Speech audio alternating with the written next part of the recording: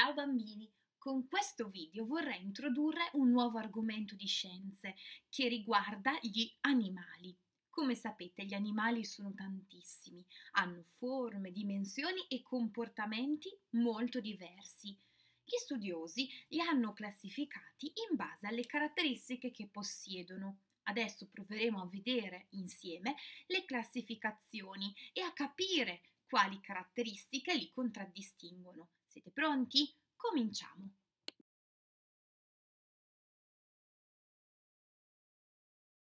Le famiglie degli animali che studieremo sono sei. Pesci, anfibi, rettili, mammiferi, uccelli e insetti.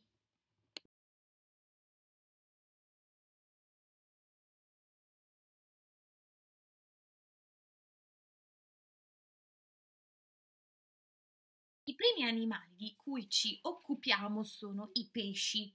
Sapete, bambini che vivono in acqua dolce oppure salata, che si muovono nuotando grazie alla coda e alle loro pinne. Respirano con le branchie e nascono dalle uova.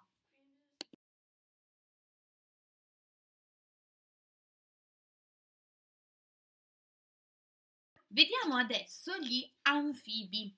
Gli anfibi sono degli animali molto particolari. Sapete perché? Perché possono vivere sia in acqua sia sulla terraferma. Hanno quattro zampe, respirano con i polmoni o attraverso la pelle e nascono anche loro come i pesci dalle uova. Un esempio di anfibio molto famoso è la rana.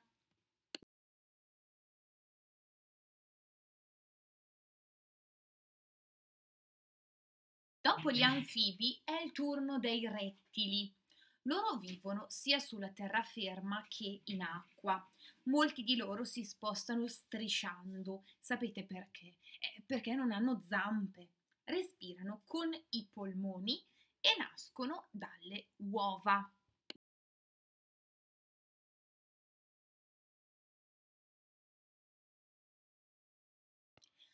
A questo punto possiamo parlare dei mammiferi. Anche l'uomo è un mammifero e rientra in questa categoria. I mammiferi vivono per lo più sulla terraferma. Ce ne sono alcuni che vivono nel cielo, come per esempio il pipistrello, e alcuni addirittura vivono nel mare, per esempio la balena o il delfino. Sono mammiferi, anche loro, anche se può sembrarvi strano. I mammiferi possono camminare, correre, saltare, respirano con i polmoni, nascono non dalle uova ma dal corpo della madre e vengono allattati dalle mammelle. Ecco perché si chiamano mammiferi.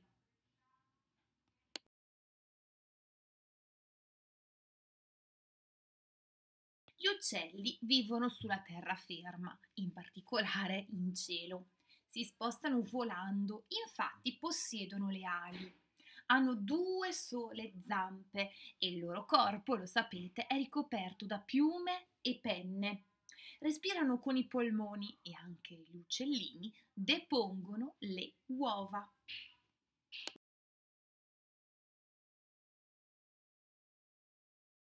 I ultimi animali di cui ci occupiamo sono gli insetti.